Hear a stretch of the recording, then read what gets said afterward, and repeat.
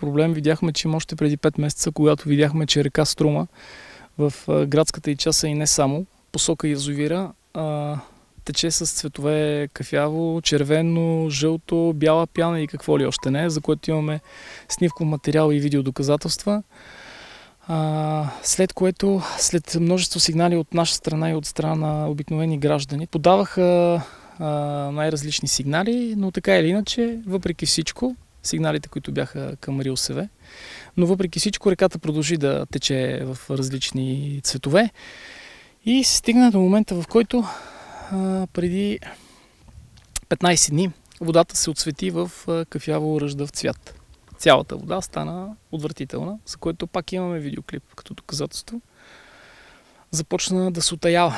Оттаи се в сряда започна вече отаяването. В четвъртък вече имаше забелязана умряла риба. Днес сме вторник, това са 4 дни.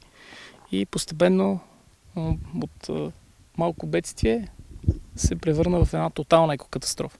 Какво имам предвид под тотално? Освен рибите, има измрели жаби, има измрели раци, има измрели охлюви. От Рио СВ Перник казва, че поради недостиг на кислород измира рибата. Да, така е, те са прави, но не казват причината, поради която има недостиг на кислород. Ако няма отрови в язовира, всеки може да го провери това нещо, могат да го кажат специалисти, няма да има умрели жаби. Те са изключително устойчиви.